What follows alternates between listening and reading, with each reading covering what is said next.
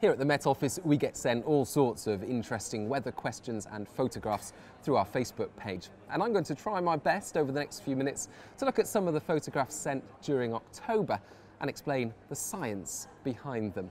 Now, Peter Locke sent in this spectacular image of cirrocumulus over the north of Scotland. Cirrocumulus clouds are high, scaly sheets they're composed of ice crystals and they are bright white. But Peter asks about the wave and rotation structure behind this particular cloud. Now, this is a cirrocumulus undulatus, and the undulatus simply means undulating or wave like patterns. Now, the clue behind these waves is the location of the photograph, the north of Scotland, downwind of some fairly bumpy terrain. And simply what happens is the atmosphere starts to wobble. Now, the atmosphere takes several different moods. Sometimes it's in an upbeat, buoyant mood full of rising bubbles like a bubbling broth. Other times it's a bit more like a settling jelly. And if you prod it from below, it tends to wobble back into shape. And that's what's happening here.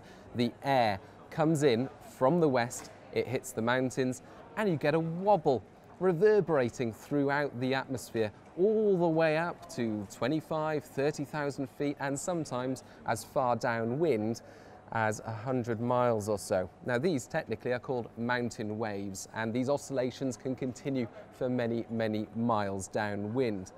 Now what happens with these waves is that where the air rises on the crest of the wave, the air cools, condenses, you get cloud. Where the air starts to descend on the trough of the wave, it dries out, you don't get cloud. That's why you get these waves. Another undulatus cloud is this one sent in by Lisa Jane. She asked, what kind of cloud is this? Well, this is an altostratus cloud. It's a sort of cloud that you see when the skies turn grey and overcast ahead of an approaching weather front. You see this cloud, you know it's going to rain fairly soon.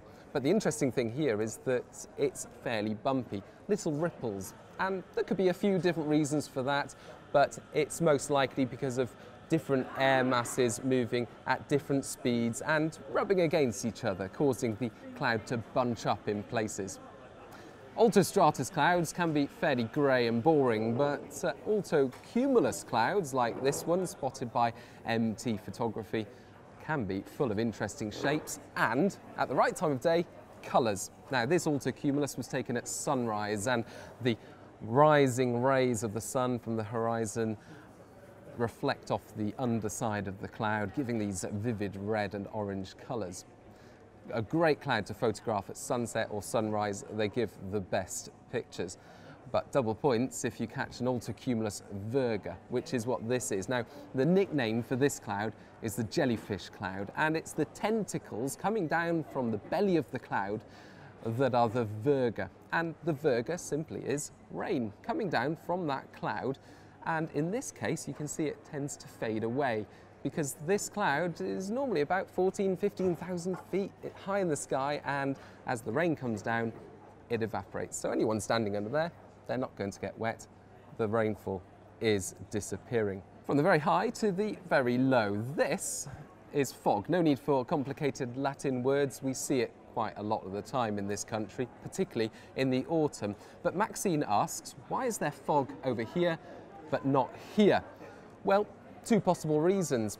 Fog, this type of fog, radiation fog it's called, happens when the ground cools overnight and that ground radiates heat, the air close to the ground cools down as well and colder air can't hold as much moisture, therefore fog forms. Now it could be that in this dip it's slightly colder than over here or it could also be that there's a river down there or a stream or some marshy ground and therefore there's a bit more moisture.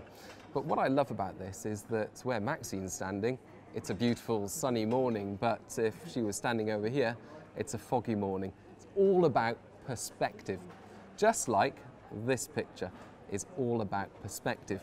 Marianne took this picture from the top of Glasgow Science Centre Tower and she assures us it's a picture of a circular rainbow.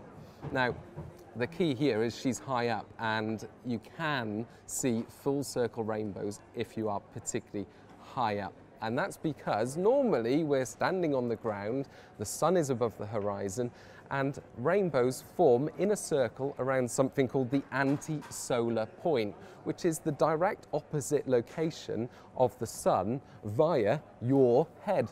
Now, normally that point is below the horizon, therefore the horizon cuts off the rainbow and you only see an arc or a bow. But if the sun is low enough, if you are high enough, the angles change so that you see much more of the circle involved in a rainbow. And if you are high enough, for example, in a plane, you can see a full circle rainbow. For example, this rainbow caught from a pilot in Slovenia, it's a full circle rainbow. You can just see how it extends all around. The sun is low, the pilot's perspective is much higher, and thankfully he can see that full circle rainbow. Now there are implications here of course. It means that rainbows are technically rain rings. It also means that there's no pot of gold at the end of a rainbow.